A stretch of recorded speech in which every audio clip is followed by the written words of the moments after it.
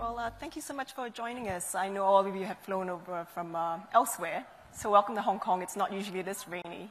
Um, and I know we've got about half an hour and three panelists, so I'm just going to jump into it because we're everything between, we're everything standing between the audience and lunch.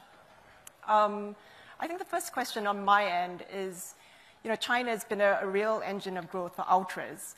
Um, you know, this is a key target market for private banks, and um, you know, it's been a bit slower these days with the IPO engine sort of slowing down, with growth slowing down. So, what are the key engines of growth for the new ultras? Uh, Rajesh, if you could start. Sure.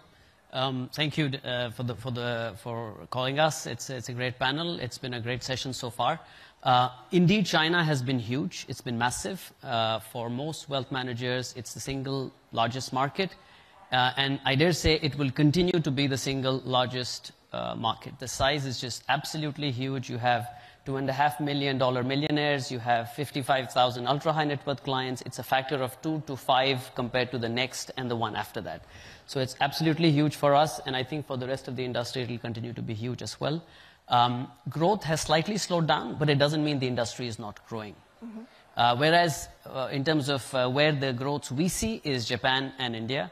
Uh, India, you've seen three years of excellent growth, and when you think about how ultra high net worth wealth is created, IPOs is one, uh, growth in earnings and dividend payouts is the other, and third, growth in asset valuation, typically equities and real estate is the third one. So in terms of percentage growth, I would say India and Japan way above, but in terms of just absolute magnitude, still a few years to catch up with China. Okay, so it's still India and Japan. Um, Pierre, I know you're based in Japan, um, so I wondered what your opinion was.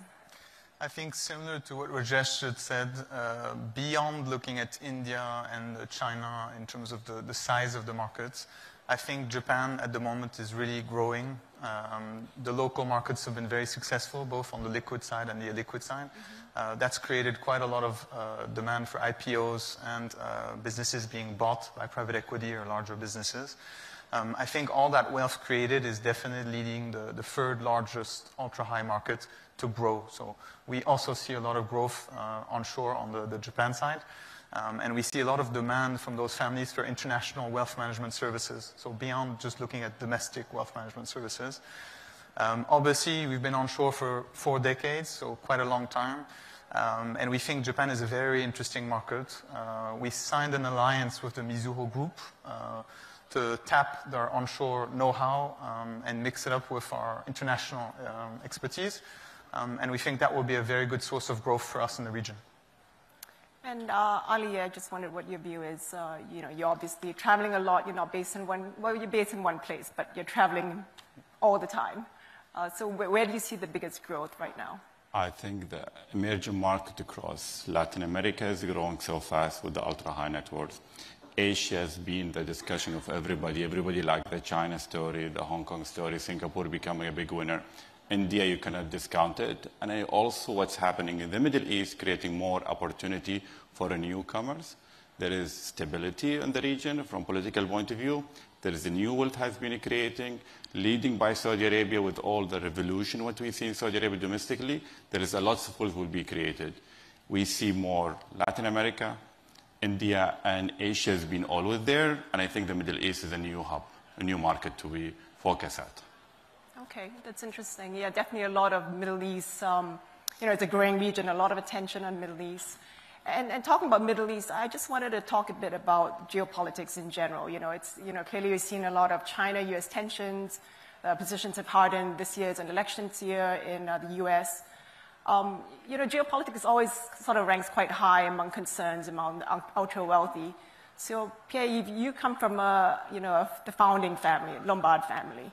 I wanted to get a sense from you on what sort of concerns ultras have around geopolitics and also how they're sort of managing that risk. Uh, thank you for the question, Denise. I think it's one of the most uh, hot topics of the moment. Uh, geopolitics are definitely a big concern for, for ultras, uh, not just in Asia, but across the world. I think the, the conflict in Europe, the conflict in the Middle East, and the superpower tensions are definitely leading to clients being concerned. Um, that concern is leading clients to look for the safest and strongest financial centers, but also the safest and strongest financial institutions. Um, as you just mentioned, we've been um, doing wealth management for uh, eight generations as a, as a, as a business. Um, this experience uh, is obviously something, and this stability and this continuity is obviously something that clients are increasingly looking for at the moment. Um, and this is obviously a call that we are answering. So where do you see the safest? You, mentioned that you want to go to the safest financial centers, safest banks. You know, where, where do you see that? At the moment, we're seeing from Asia the most demand from Switzerland, for Switzerland, uh, Singapore, um, and as Ali was mentioning, to, to, the UAE. Okay, so those are the regions that people, like the ultras, feel are safest. As, as offshore financial centers, yeah.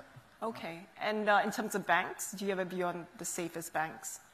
I think people are looking for the, the banks that are not listed, uh, especially after the, the, recent tensions in the banking market. They're looking for unlisted uh, banks. They're looking for very high capital ratios, uh, the highest credit, credit ratings, and uh, in some cases, they're looking for pure play uh, players to diversify their pool of banks. Okay. And Ali, I just wondered what's your view in terms of, you know, how you obviously talk to ultras all the time, yeah. you know, so what, what is, how are they sort of hedging themselves? Look, they look at it differently. Like volatility create opportunity. The regional and the Middle East have the stability which is attract more money to it.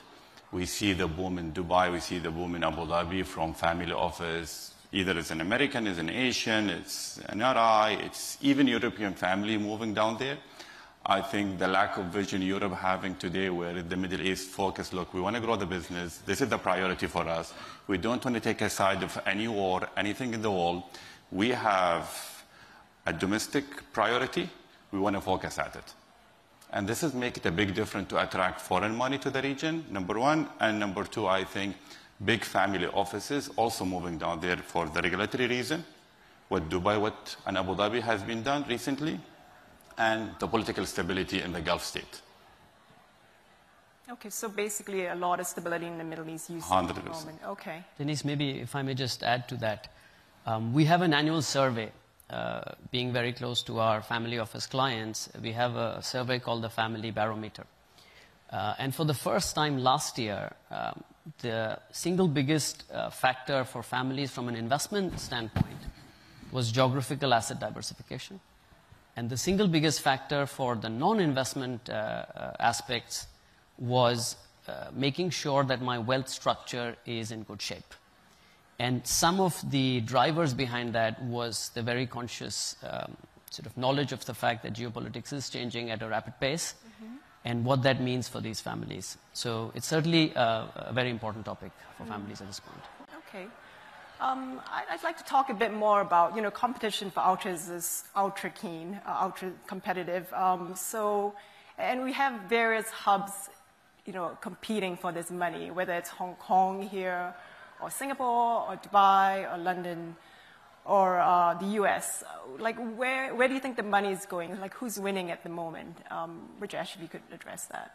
So actually, you know, we speak about this, um, but if you go back, financial centers have learned from each other, competed in a healthy manner for forever. Mm-hmm. Whether it was uh, asset management, whether it was uh, capital markets, whether it is listings on exchanges, whether it's hedge fund uh, assets being domiciled. So this is not new, in my opinion. Mm-hmm. Uh, every financial center will have its own value proposition, will have its strengths that it will play to, uh, and eventually it's not a binary game for families. They will choose not just one, but potentially two or three that best fit uh, the triangle of themselves and their families. And there's a lot of next generation wealth looking, uh, next generation actually looking to redomicile themselves because of education or whatever reasons. Second,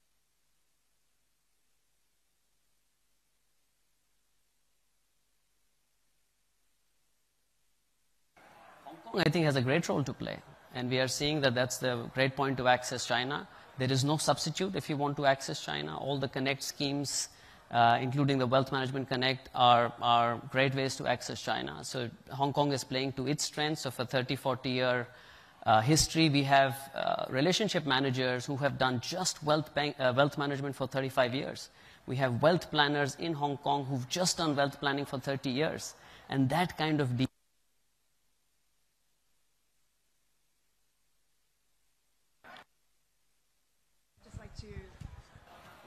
Uh, Pierre-Yves, we seem to have some tech problems. Uh, Pierre-Yves, I'd just like to get your opinion on in terms of yeah, where, where the money flow is going.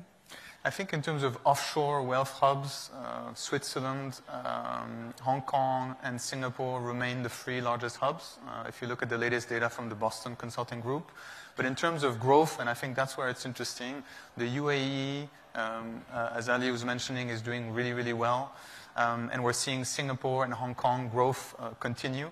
Um, and I think Switzerland will, will remain quite stable, but quite lower in terms of grow, growth factors uh, going forward. So I think, uh, as Rajesh was saying, uh, Hong Kong will remain a very important hub in terms of its connection with China. Um, and I think China being the biggest market in the region, it will continue to do well from, from that perspective in terms of growth going forward. Uh, the Boston Consulting Group definitely thinks that UAE, Hong Kong, and Singapore will be the three, three fastest growing hubs uh, for offshore wealth management. And I mean, the government has been making a lot of effort to bring back family offices. Do you see um, interest on that end? Definitely, I think in, in the region, family offices are mostly choosing Hong Kong um, and Singapore as their hubs. Uh, moving away from the region, they're, they're, choosing mostly the UAE and Switzerland as their, as their hubs. So okay. I definitely think that trend will continue and those four hubs will continue to strengthen. Um, Ali, what's your view on this? I think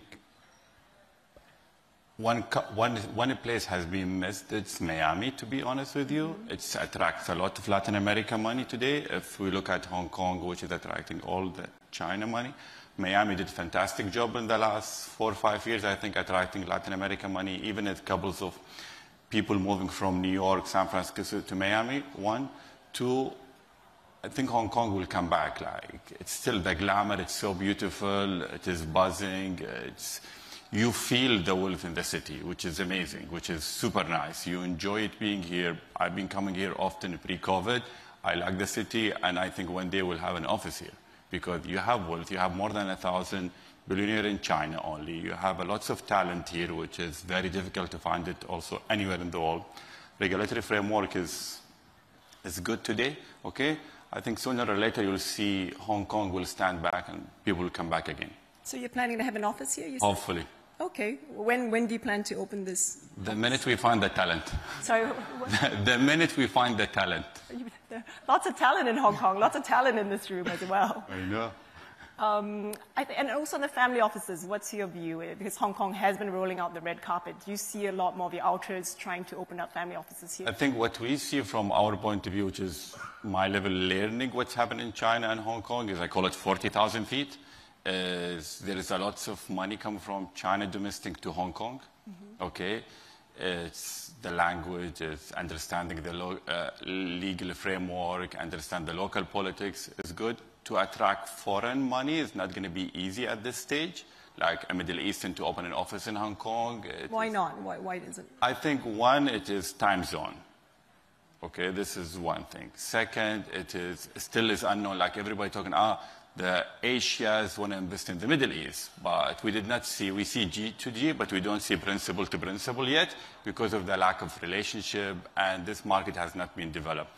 Plus what Switzerland has been doing, what the US has been doing, what London has been doing for the last two or three decades, attracting all these people. I think sooner or later, we will see people coming back here. Okay, and Rajesh, do you have any thoughts on the, the family office front? You know, you're based in Singapore. Uh, there's been a lot of family offices there. Do you see momentum in Hong Kong? There's tremendous momentum in Hong Kong. Um, uh, just generally, Hong Kong as, as a location for us, it's the third largest location globally. Uh, we have over 500 people here, uh, and we only do private banking. So we are a focused private banking business. Um, so we have 500 people. Last year, we moved into our 100,000 square feet premises in Two Taikoo Place. Um, and that's a reflection of the fact that we strongly believe in Hong Kong, and it's even doing well. Um, both our locations have had net new money uh, this year, as for the last few years. Um, so they're both doing well. And the recent announcements made um, since last year uh, around the CIES, around the seven or eight factors that go into make makes it even more interesting, in addition to the DNA that I mentioned. So it is a very, very competitive location for family offices. You mentioned that both locations, Hong Kong and Singapore, are doing very well at the moment. Um, so, like Singapore has had some issues recently in relation to money laundering. Do you see like the momentum shifting in terms of you know where the pendulum swings? I don't think so. I mean, uh, there, there were those incidents, but it's like cybersecurity or any of those elements. No matter how much you do, and Singapore in the Southeast Asian context has seemed to be a sterling location in terms of some of those uh, measures in place to make sure it doesn't happen, and yet it can happen. So that's just a reminder uh, that we all, as a, as a financial ecosystem, need to keep working hard to learning from these experiences and, and, and keep making things better. I don't think the pendulum is swinging. Every location is dealing on its own strength. Singapore has great access to Southeast Asia. Uh, there's a big India corridor in terms of connectivity. Um, it has focused a lot on a more formal approach toward family offices and those are its strengths. uh, I'm sure uh, Ali will talk about Dubai, which has its huge strengths in terms of access to the Middle East and uh, also playing into the India corridor. But as I mentioned, the, the Hong Kong strengths have been 30 years of, uh, of a DNA, great capital markets, exclusive access almost to the, to, the, to the Chinese capital markets, massive amount of access to by far the largest wealth pool. So they will all play to their strengths. Okay, well, we've heard from the panelists about family offices, but I'd like to hear from the audience. So if you could go to our poll, um, if you could get that up and running. Uh, so yeah, the poll question is, what's the best location for family office? Uh, we have A, Dubai, B, Geneva, C, Hong Kong, D, New York, and E, Singapore. So uh, there's a QR code uh, for you to scan. Um, yeah, in the meantime, so it'd be good to find out, you know, which family office location everybody is looking for. Um, well, uh, just for the moment, while everybody's voting at the moment, if we could look at also maybe investments and, and where people are putting their money. Um, Rajesh, I'm, I'm wondering where, where do ultras put most of their money? So as you can imagine, you know, ultra high net worth is between 30 to 60 percent of most wealth managers' asset base. So that's a very big pool of assets, and it's not all doing the same things. Mm-hmm. I would say there are three to four major trends or themes which are playing out on different time scales. The most urgent thing is around the impact of interest rates on what investors are doing in their portfolios. So first, there was a trend uh, from sort of like current accounts to deposits. There was a massive sort of deposit war, and now that money is slowly but surely being deployed into fixed income of all sorts, from like the midterm bond equivalents all the way through structured credit in different phases. That's like the most immediate trend on investments. Then, and the, the, the flip side is what do you do with the liability side of the coin because your dollar loans have become very, very expensive. So people have reduced the liabilities in dollars and there is some diversification in terms of liabilities from uh, lower interest rate currencies, perhaps the Swiss franc, perhaps uh, uh, even CNH, to kind of diversify your financing pool on the liability side. The next thing which is going on, which is much more on the longer time scale, and that's what makes me super excited, both about wealth management but also about our role, is there's a massive amount of institutionalization in the way uh, families are approaching the business of investing. The purpose behind it, a proper strategic asset allocation. 10 years back, when I would ask a family, what is your IPS, your investment policy statement, I would get a lot of blank stares. And now that conversation is real. People are looking for outsourced CIO services. People are engaging with custom private markets. So a lot of the stuff that we have depth in has, has now agency, has now traction. So that's maybe at a much more kind of longer scale. And the intermediate one is US primacy. There's a lot of diversification that has taken place from home bias to the US, led by tech, led by the general access to the market. So those would be, from my perspective, the three things that I would say.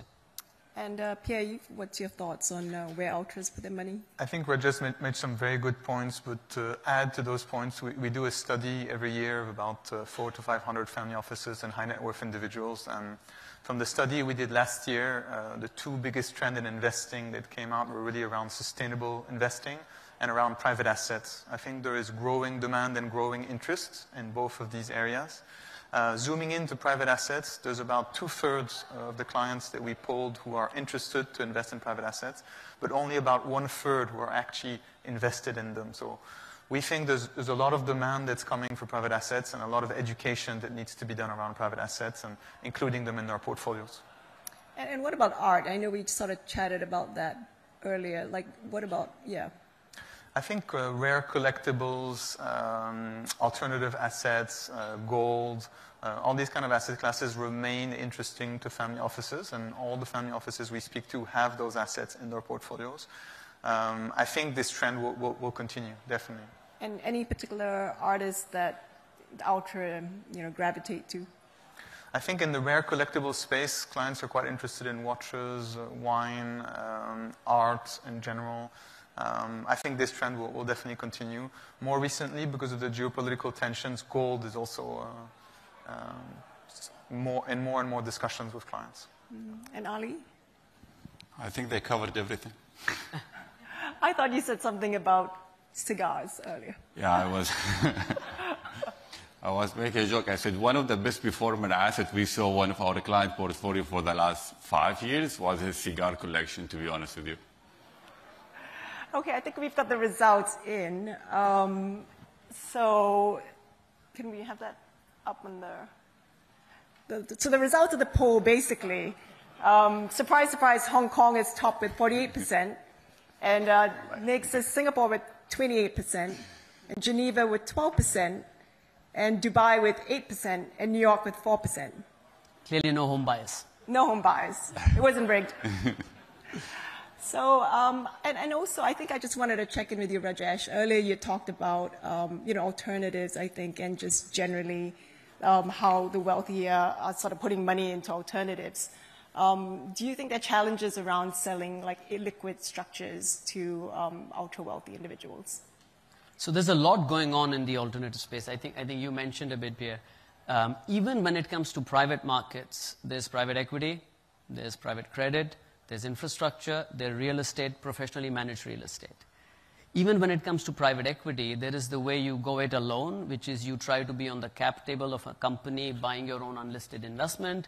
You do it through funds, you co-invest, you do it through fund of funds, and so on and so forth. One very interesting dynamic I have seen is when you would talk to family offices, the sort of in-between size family offices, not the nouveau, but not the biggest, um, there was always this fascination for being on the cap table. I don't want to go through a commingled fund. I want to be on the cap table. And what this recent shakeout has illustrated that even if you have three, four people in the family office looking at direct investments, it's not enough because the distribution of outcomes is so skewed, the kind of due diligence that needs to go in is so skewed. So we are seeing a return of the commingled structure back for the sort of in-between size family offices, mm-hmm. whereas the really large ones, the one with 7, 8, 10, 12 investment professionals who come from a lot of the private equity due diligence background, they continue to want to participate uh, directly in, in investments. Um, fundraising for private markets, illiquid, has been much harder this year. There is also a fear that 60% of private markets tend to be buyouts and hence with an increased interest rate environment, does the L in the LBO still work? Because now the cost of uh, the financing the transaction is that much higher. So it has been a tad harder, which has beautifully then been uh, supplied by these the semi-liquids that the asset management industry has created, which is trying and creating quarterly liquidity or monthly liquidity from some of these illiquid strategies. So there's a massive interplay of uh, factors going on, primarily driven by the increase, uh, increased interest rates, but also the need to diversify. Um, I'd like to go into some of the lighter questions. I don't think these questions were very hard, but um, the, the, first question is, what, what is the best investment you've made, um, money or otherwise? Uh, I'd like Ali to answer that question. Money-wise, the best investment, which is, could be rare for everybody, we invested in a business aviation called VistaJet, and we made like a decent return for our clients. We benefit out of COVID years. I think this was one of our first investment we did. Second, investing in myself and the team, where we are today.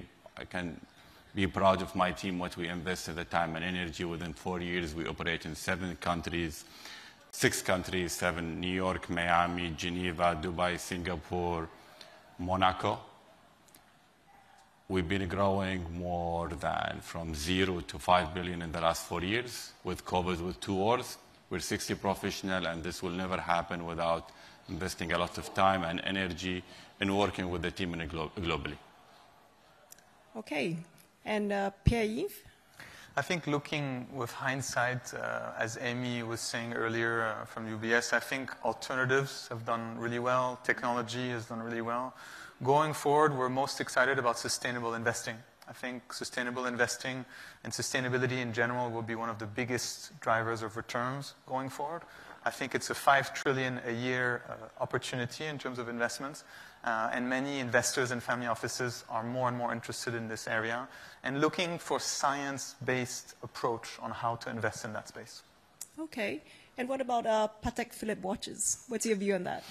Definitely. I think rare collectibles in the alternative space will remain uh, an attractive a niche. It's a very niche asset class, but I think it will remain attractive for, for clients, definitely. Uh, Rajesh? Personally, or um, Yeah, personally, yes. Well, I started my educational career being an electrical engineer, and Okay. here I am on the stage with you talking about ultra high net worth clients.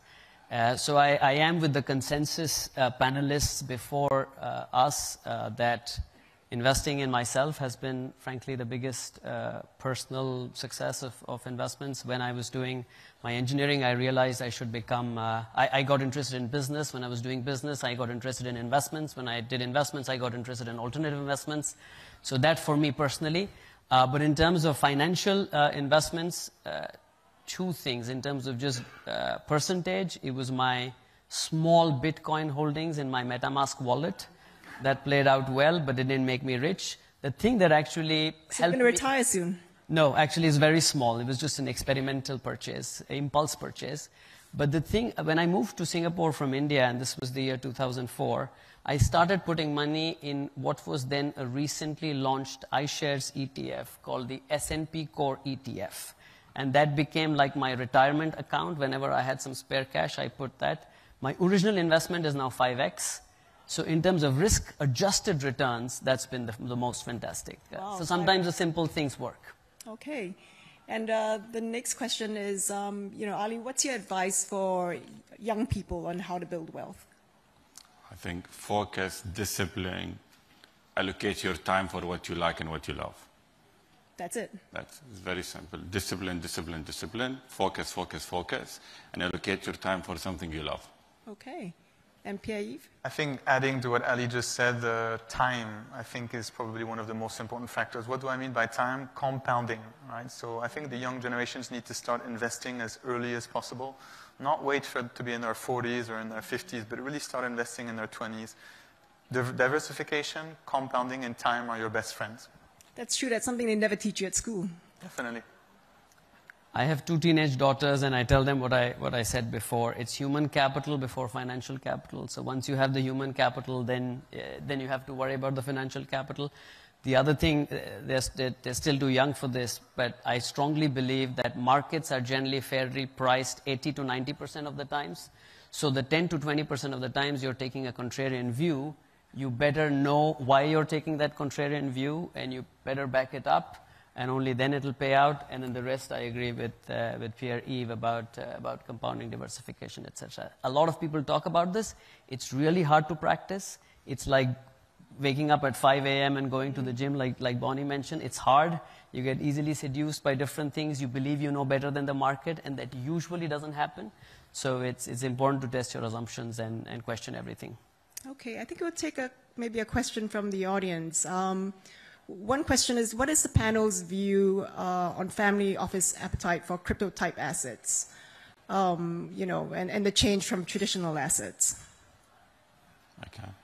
We always tell our clients if you invest, if you invest in art, wine, uh, all this collectible watches, jewelries as an asset class, you should put two, one, two percent in a crypto. If you never done these type of assets, okay, and it was not part of your asset of, of part of your portfolio, you should not touch this because too volatile. It's a long term. It is you allocate one, two percent to the whole portfolio. It's not going to change your life. Okay. I think similar to what Ali was saying, I think uh, many of our clients are interested in that space. We are not involved in that space directly, but we do see clients uh, invest a small part of their assets in that space. We have, uh, as Julius Baer, been quite involved in the space uh, because we know that clients will do it one way or the other. So we felt that it's important to get engaged. So for the last four years or so, we've been tracking the space. We have been writing research reports for the last two, three years. It's very hard with that volatility to have a view uh, on target prices and things like that. But we have been engaged in the space. We also have an investment in SEBA, which is uh, uh, the first of two crypto banks in the world. Um, so we've been engaged in the space. What we see happening is originally the hype was driven more by speculation and a little bit trying to make a quick buck, or for these extremely negative views about the collapse of the financial system and how this is all a, you know, the traditional financial system is just all a big scam. So that has been replaced by a lot more institutional grade sort of uh, research into the topic. And when we talk to our families' uh, offices uh, these days, there is a big risk that the way the US dollar was used almost as a, like the financialization of the financial, the, the, the weaponization of the financial system uh, with sanctions and things like that. From the perspective of family offices, is one reason whether it's physical gold or whether it's the digital version of that, which is Bitcoin in particular. I'm not talking about the other current uh, uh, digital uh, virtual assets, but specifically Bitcoin, which has somewhat similar analogous characteristics uh, are becoming more and more, maybe 2, 3, 5% uh, kind of allocations of family mm. offices. Okay. So um, I think we need to wrap up quite soon. We do have one question, maybe Ali can take. What's the impact of MENA stability um, of the recent regional conflict and the recent financial challenges in Saudi Arabia? I'll start quickly with Saudi Arabia, then go to the conflict. I said Saudi Arabia, we see in the media they went to borrow a lot, but it's a country still debt to GDP is one of the lowest in the G20. The country did not invest in infrastructure for the last 50, 70 years. The development recently led by His Excellency MBS to develop the country, to try to be one of the top 10 cities in the world, need this massive investment. He can do it. They've been doing it. And compare them, which is mark to market, debt to GDP, still they are the lowest with the G20. I think there's a lot of form about the way they're spending, the new project, but people was laughing at Dubai 20 years ago when they did the palms. The most expensive real estate has been sold in the Middle East was in the palms. This is fact. And on the, the other question, eh, the stability in the Middle East, I think you have to split the Middle East to two. You have the Gulf state, which is Kuwait, Qatar, UAE, Saudi Arabia, and Bahrain, and the rest of the Middle East, which is Iran, the Levant, Syria, Jordan, uh, Palestine, and all the way to Israel and up to Turkey. The GCC stake has been holding the stick from the middle, not taking side. They try to do their best between Qataris and Saudi Arabia, even the UAE, and the conflict on the ground. I think there is a big effort, but it cannot be done by only the Middle Eastern side. Our European colleagues have to move. Our American colleagues have to move to make it a lot more stable. Okay, I think that wraps up our panel. Thank you very much.